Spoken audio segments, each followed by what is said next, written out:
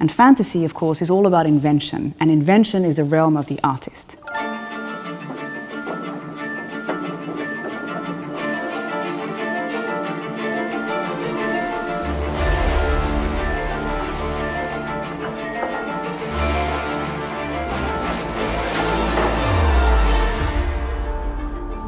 It's that time of year again, Halloween.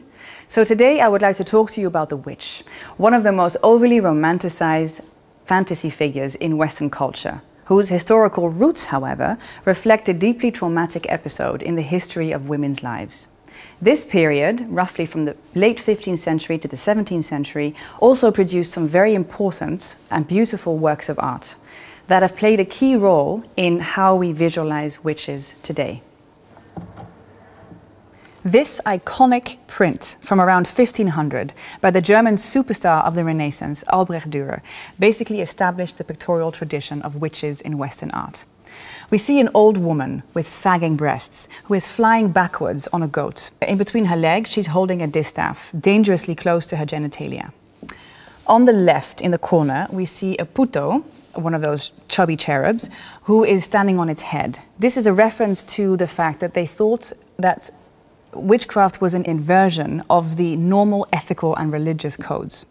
And this is why we see the, the witch flying backward on the goat, and this is why we see her long wavy hair blowing in one direction, whereas the long uh, wavy hair, the, the thick fur of the goat, is blowing in the other direction. And this is also why, as a joke, Albrecht Dürer himself inversed the D in his own monogram. It's the world upside down. Ten years later, Dürer's student Hans Baldung Grien created this spectacular woodcut in which he reused Dürer's motif of the witch flying backward on the goat. He went further though, because he decided to depict the witch's Sabbath, which was then thought to be a gathering, a nightly gathering of witches, during which they were thought to fly on animals or on broomsticks, during which they were thought to copulate with the devil. In fact, the goat is an age old symbol of lust and also the, the embodiment of the devil, and in which they were thought to concoct ways to harm men. Here you see uh, sausages. This is a very clear reference to the male genitalia and therefore to castration, which was a real fear at the time. Now, up until this image, descriptions of the Sabbath only existed in books, in written sources. Most notably, the book called The Witch's Hammer from 1487, which was essentially a handbook on witchcraft for prosecutors and judges. So, for that, Hans Baldung Grien had no other image but the text, so he could use his fantasy. And of course, fantasy is, is invention, and invention is the realm of the artist.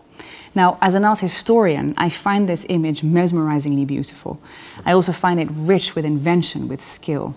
Because here we have these witches who are beautifully organized in the composition, and they're, they're sitting amidst bones and skulls and the sausages, and they're flying, and there's so much going on, but it's also compact and it's balanced. At the same time, there's this force um, with which the steam coming out of this pot here in the foreground is, uh, is, is blowing out all these horrible things, the debris and the frogs and just nasty stuff. I find this just so incredibly beautiful to look at. But as a woman, as a person, I find this image deeply troubling because I know that the descriptions of the Sabbath in these books were based on so called confessions of real life women who were tortured severely and then drowned or burned. And I also know that this particular image played a huge role in the popularization of this terrible nightmare. After all, you can't unsee an image. Images are powerful. And now we're going to leave this beautiful library and go to the galleries to look at a painting that was obviously influenced by this print. And for that, we're going to wear a face mask.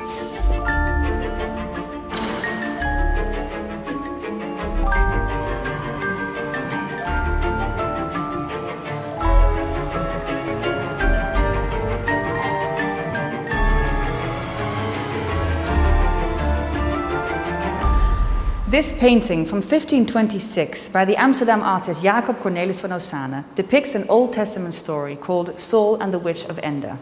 Now, in this story, the Witch of Endor has a small role and she is more of a psychic or a medium. That story in this painting is relegated to the background. what the artist was really interested in is depicting a Sabbath, so a contemporary witchcraft scene, the way he knew from prints like we have just seen. So on the left here we have the Witch of Endor. She is the old hag type with the hanging breast. We know her from Dürer. She's sitting in a magic circle surrounded by owls and holding and lighting candles made of human fat. In the meantime, she's looking in a spell book with uh, gibberish symbols.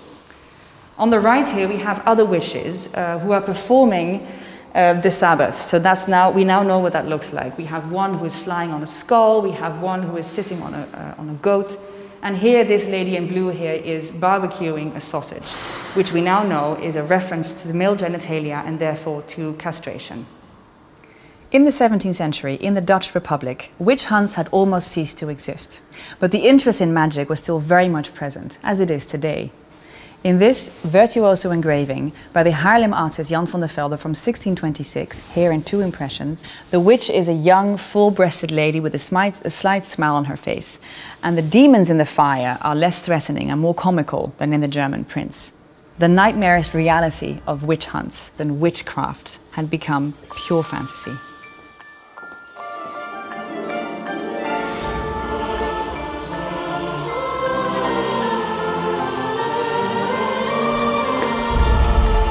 Thank you for watching. I hope you enjoy the Witches of the Rijksmuseum.